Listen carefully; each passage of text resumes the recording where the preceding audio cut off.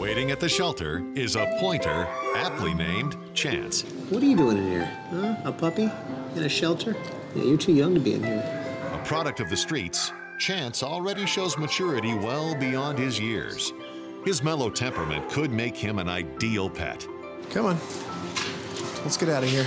particularly for one certain dog lover looking for her own second chance.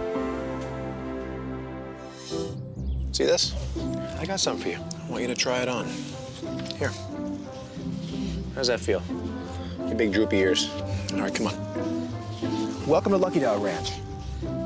Chance is a five-month-old puppy, and at his age, there's two things he needs right now. One is manners, and two is the seven common commands, which are sit, stay, down, come, off, heel, and no.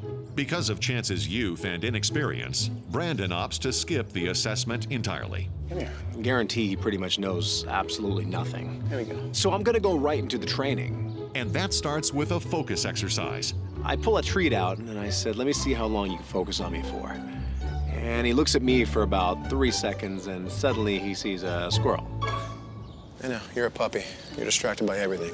Chance's wandering eye could pose a serious challenge, so Brandon starts with the most basic command. Just follow it.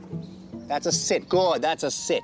And within a few minutes, he actually picked it up, and I say, okay, we're off to a great start. And then I went for the down command. Can you go down?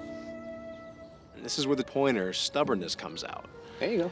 Over and over, I showed him different ways to do the down. I tried my favorite technique, the double leash lock-off, and he just didn't get it. And then I tried another way. He didn't like it. This is what it comes down to with this breed. They're a very sensitive dog. You have to take your time with them. I can't be hard on him. Otherwise, I'll lose him. He will shut down. Back you up.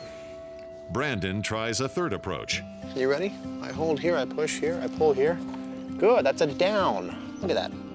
This technique, does the job, but what I don't like about it is I'm actually doing the work for him. Good, good, that's a down. The question is, does he have the technique down? Good. Tomorrow's a new day, we'll see. Come on. Very good boy. Excellent work. Hup, hup. Very good boy.